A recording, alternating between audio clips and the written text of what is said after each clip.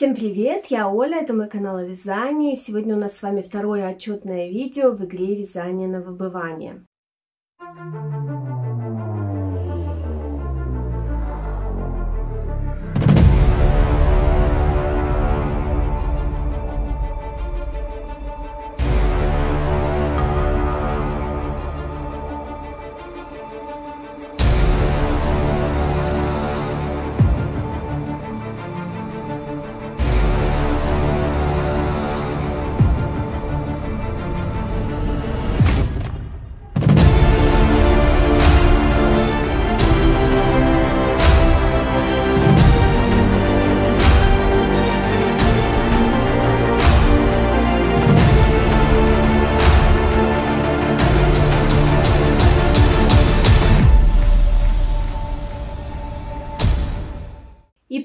Чем я расскажу вам, что же связала на этой неделе я, давайте посмотрим, как же я проголосовала за предыдущий этап. В предыдущем этапе мы вязали шапку, темой было «Надень шапку», и все участницы, все 10, э, ссылки на всех участниц, кстати, в инфобоксе. Обязательно познакомьтесь с ними, если вы еще с ними не знакомы. Посмотрите, какие шапки они связали. Ну и я расскажу, как же проголосовала я. Первое место я отдала Яне с канала Яна вяжет. Яна связала двустороннюю шапку двусторонним жаккардом. Для меня это что-то из области фантастики. Я такую технику еще никогда не пробовала. И поэтому я отдала Яне первое место. Шапочка получилась отличная, очень удачно подобраны цвета. И также Яна рассказывает в видео, что, видео, что шапка будет практичной, она будет ее носить, что немаловажно для меня. Я человек довольно-таки практичный. Поэтому первое место я отдала Яне. На втором месте, по моему мнению, Аурика. Аурика связала берет с аранами. Честно говоря, такие береты – это моя слабость. У меня когда-то был такой вязаный берет, и ну, я не слишком ношу шапки, а вообще, если бы носила здесь, в Германии, то обязательно связала бы себе снова берет с аранами, потому что мне очень нравится такая модель головного убора, и я не устояла, отдала у Рики второе место. И на третьем месте, по моему э, мнению, Оксана, барм-инженер, и она связала капор. Э, капор тоже хочется иметь. Я пыталась связать себе в прошлом сезоне, но отдала его потом маме. Ну вот именно такой капор, который Оксана связала, мне тоже очень хочется иметь в своем гардеробе. Мне кажется, это очень удобно, э, когда погода такая располагающая к ненадеванию шапки, я говорю за себя, да, для своего региона, и в то же время может быть подняться, может подняться ветер, можно надеть такой капюшон, он будет выглядывать из э, вашей куртки, из пальто, он будет выглядеть как будто вниз, э, под верхнюю одежду вы надели какой-то вязаный худи, какое-то изделие с капюшоном, и в нужный момент можно будет этот капюшон надеть, опять же снять, и также, точно так же можно будет всю конструкцию с себя снять, если вы, например, зашли в помещение и вам очень жарко. Поэтому, мне кажется, эта вещь тоже очень практичной, и я тоже хотела бы такую иметь в своем гардеробе. В общем, я э, голосовала из позиции, что бы я хотела для себя связать, чему бы я хотела научиться. Эм, немножко расскажу про голосование. В Телеграме, в группе возникли небольшие споры. Не все поняли правила игры мы голосуем, то голосование, которое мы объявляем, результаты как бы голосования, это голосование наше внутреннее, мы голосуем друг за дружку. Изначально игра придумывалась как голосование на выбывание, то есть кто выбывает из игры, но все-таки потом мы не играли в такую игру, мы сразу же переделали голосование на голосование друг за друга, чтобы никого не обижать, чтобы наш проект не был каким-то... Трешовым. Наверное, такой проект как бы привлек к себе больше внимания и больше зрителей, а, но это не цель нашей игры. Цель нашей игры – навязать себе интересных, классных вещей, которые давно хотелось, сплотить как можно больше вязальщиц между собой, подружить, может быть, кого-то, и ни в коем случае не поругаться, не обидеть кого-нибудь и так далее. Так вот, мы голосуем друг за друга, вот точно так же, как я объявила сейчас свое голосование, каждая из нас проголосовала, голосовала, и в зависимости от этого были начислены баллы. Три балла начисляется за первое место, два балла за второе и один балл за третье место. И все четыре этапа мы будем голосовать друг за друга и таким образом определим победителя, определим, кто же займет в нашей игре в результате первое место, второе место и третье место. Но вы можете меня спросить, а зачем же вы тогда зовете голосовать и везде кричите «голосуй за меня», будет еще один победитель, полноценный, полноправный победитель, еще один человек, который займет первое место. Не исключено, что это будет один и тот же человек, игра может повернуться как угодно.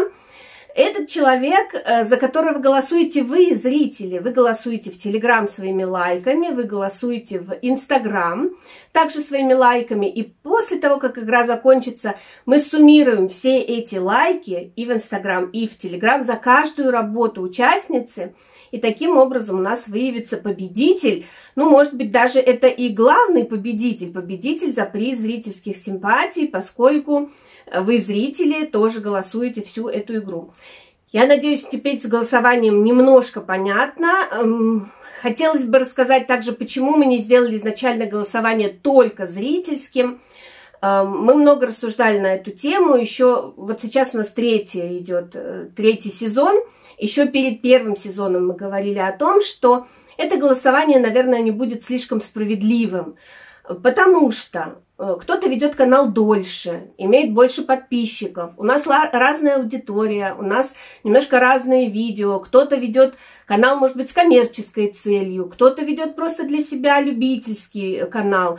И, наверное, отдавать полностью, э, решать зрителям, кто же победил, наверное, это будет не совсем объективно. Мы говорили также в группе об объективности. Что такое объективность? Мы все голосуем субъективно. Я проголосовала за тех, кто понравился понравился мне больше всего, вы голосуете за тех, кто нравится больше всего вам.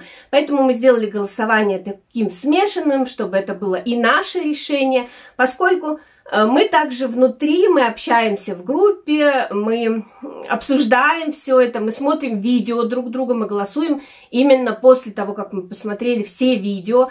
Мы смотрим а с какими же трудностями человек столкнулся. Может, он что-то преодолел, может, он научился для себя какую-то новую технику, а может быть, ну, в общем, не рассказать вам всей этой кухни, я просто хочу сказать, что доверьтесь нам, мы выбираем свои, своих победителей, а вы выбираете своего победителя. Ну, теперь, надеюсь, я все рассказала о голосовании, вопросов больше не возникнет, но если они у вас возникнут, вы все равно можете, конечно, все, всегда спросить, если возникнут какие-то непонятные моменты. Это все про прошлую неделю и голосование.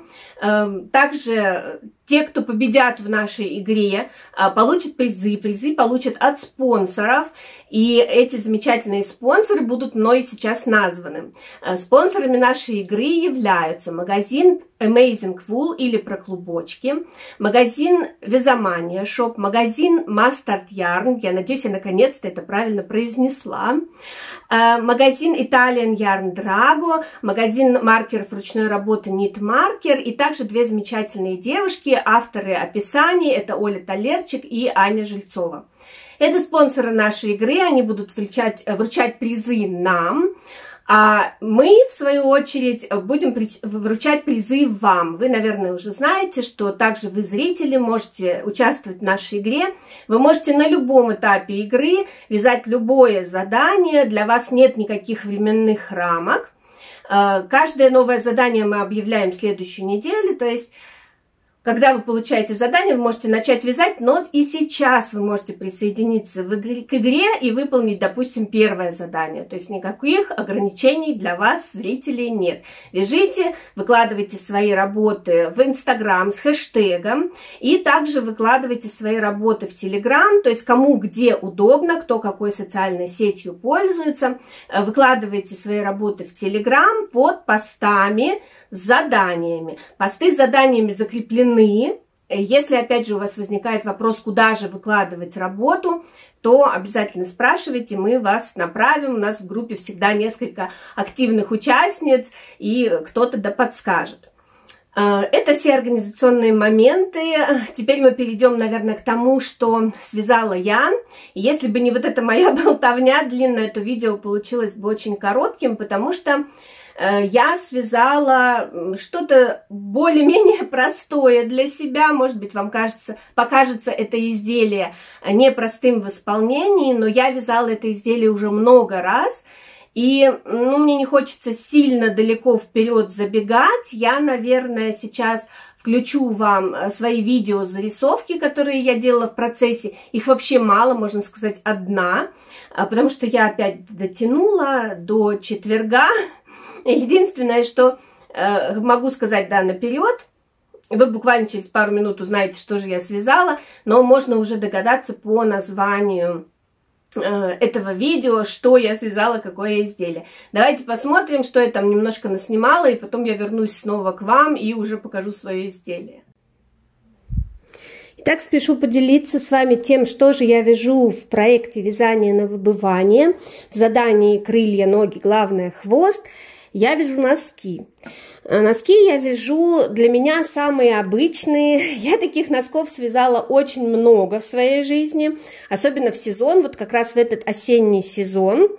Э, я связала их прям, ну, несколько десятков, мне кажется, очень часто в подарок и очень часто на заказ. Э, носки это вот такие с аранами, вот я начала уже вязать. И эти носки вяжутся у меня по мотивам описания эм, Э, от Drop Design.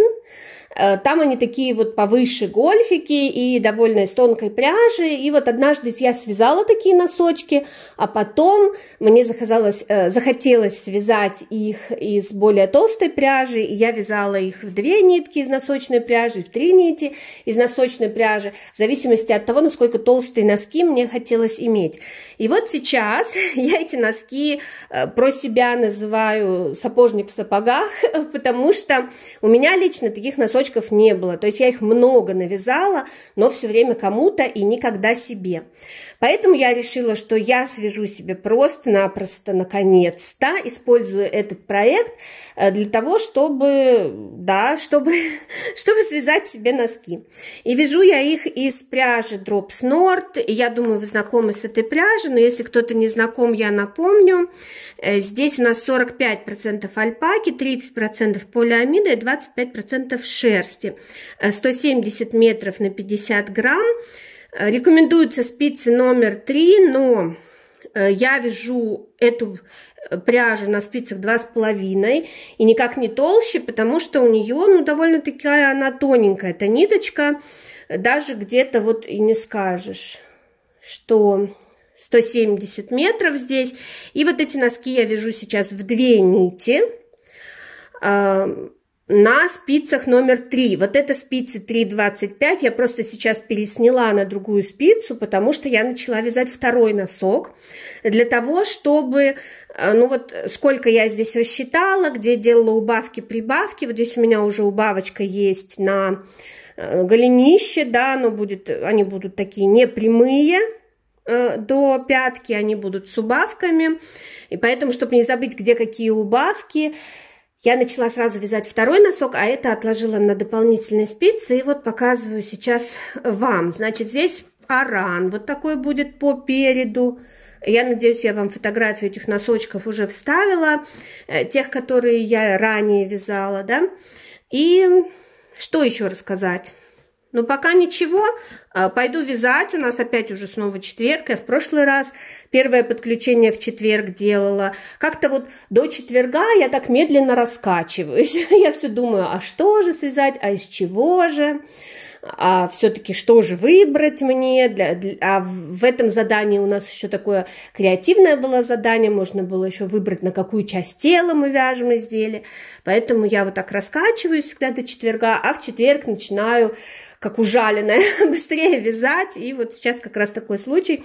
Отвлеклась буквально э, показать вам начало для того, чтобы не получилось так, что у меня ни одного включения и уже готовые носки. В общем, встретимся с вами, наверное, когда я довяжу один носок целиком, покажу его вам и приступлю ко второму.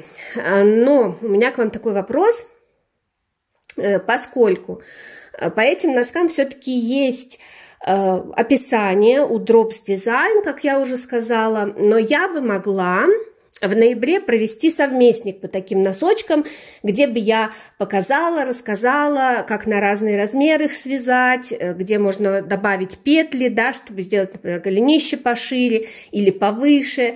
Я вязала такие носки уже и мужские, и женские, и они очень хорошо подходят для новогоднего подарка, на мой взгляд, и также для фотосессии под елкой.